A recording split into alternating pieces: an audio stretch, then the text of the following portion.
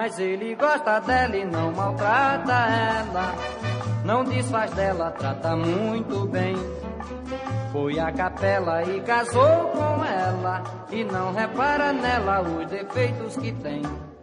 O que mata ela é uma perna torta e a outra morta de uma congestão.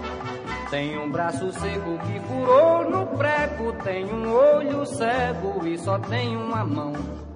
Já foi operada de apendicite e de sinusite, foi até feliz. No pé do cabelo nasceu uma espinha e a coitadinha ficou sem nariz.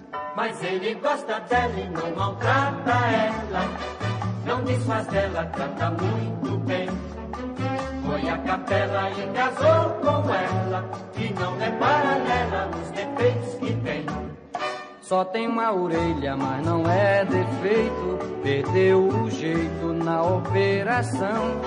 Quebrou a espinha e ficou marreca. Ela é careca e só tem um pulmão.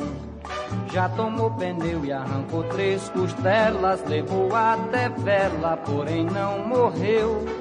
É desamparada e não tem parente, não tem nenhum dente, porque nunca nasceu.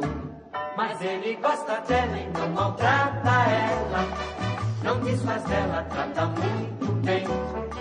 Foi a capela e casou com ela, e não repara nela os defeitos que tem. Ela tem na cara uma queimadura, sofre de loucura e do coração. O vento passou, entronchou-lhe a boca, é panhosa e moca, mas é um peixão.